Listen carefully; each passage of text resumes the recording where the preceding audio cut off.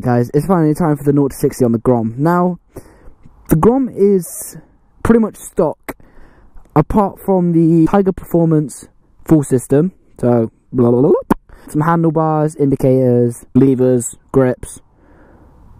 That's pretty much it. Now, I should have done it before I put it on, and I still need to put some more crash protection on.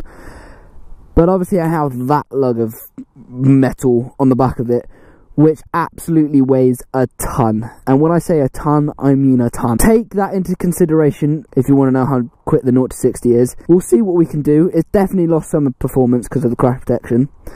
Um, but how much, I couldn't tell you unless I took it off, which is an absolute pain. I'm wearing exactly the same as I was with the KTM. So I'm going to try and compare it in a different video. If you're watching this a bit late, not when I actually uploaded the video, head over to my channel, the video may be up where I compare this against the the KTM Duke 125. But yeah, let's do this. It's a sunny day. It's a little bit windier than it was when I did the KTM video.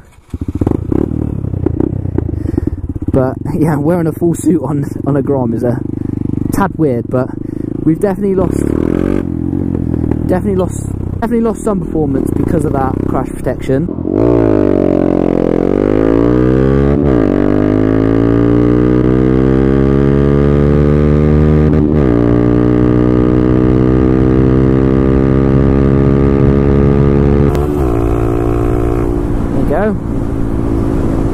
A little bit getting off the line, but we'll do a clutchless shift in and we'll do uh, RJ's little method to see if that's any faster.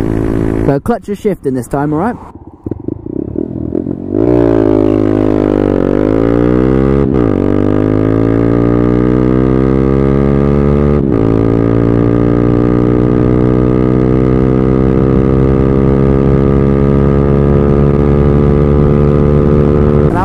Try the rev limiter trick and then that'll be done for the video. We'll do a comparison video next between this and the KTM and we'll see. I want to say the KTM wins and I'm pretty sure it does but we'll see by how much.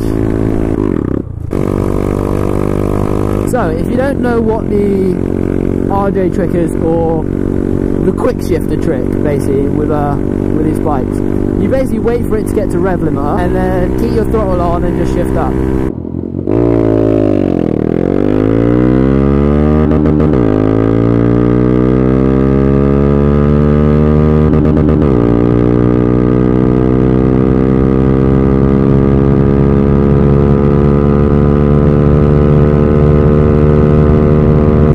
guys that's it now. If you enjoyed the video please hit the thumbs up button. Subscribe if you haven't already. And if you just come across this video I make videos two times a week normally if I'm not busy.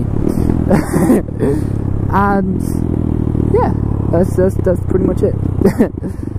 I'm not gonna take a take it through some lanes on the way back home I think. So I just filled up with fuel so I decided to do one more 0 to 60 just to see if it made any difference